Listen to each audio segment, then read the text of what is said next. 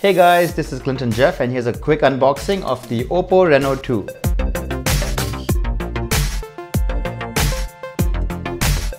The Oppo Reno 2 was just announced in India a couple days ago. You can already see that the box itself is very unique and quite flashy, so uh, I'm already very intrigued about this phone. Obviously, I'm really excited to test this out, but first, here's a quick unboxing just so you guys can see what you get in that box.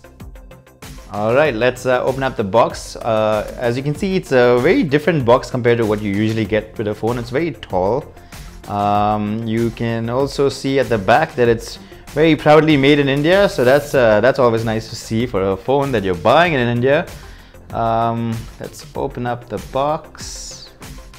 All right. Oppo Reno 2 branding right there. Some quick start guide information and warranty information as usual.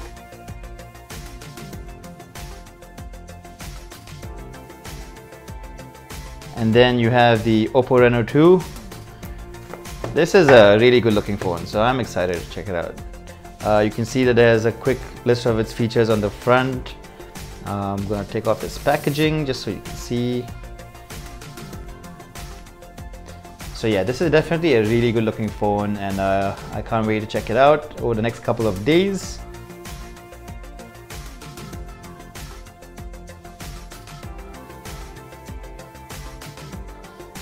Let's see what else you have.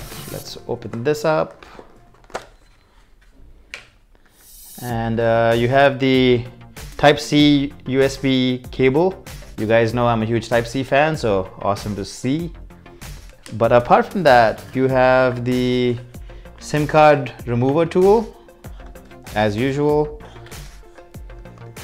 But what's really cool is this case. Like, wow, I think it's a, feels like a leather case. I'm not sure if it actually is leather, but this, uh, this is a really nice case. So it's always nice to see a really good quality case included with the phone, especially a phone that costs this price. Um, so yeah, this is quite nice. It also complements the color of the phone quite well.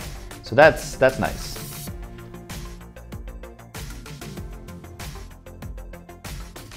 All right, moving on from that, you have the charging adapter. Somewhat large, not too big, but uh, it's a usual Oppo VOOC charging adapter. And lastly, you have the headphones.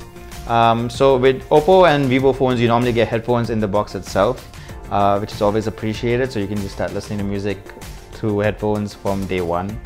Alright guys, that was a quick unboxing of the Oppo Reno 2. As always, if you guys have any questions about this phone, please let me know right in the comment section below.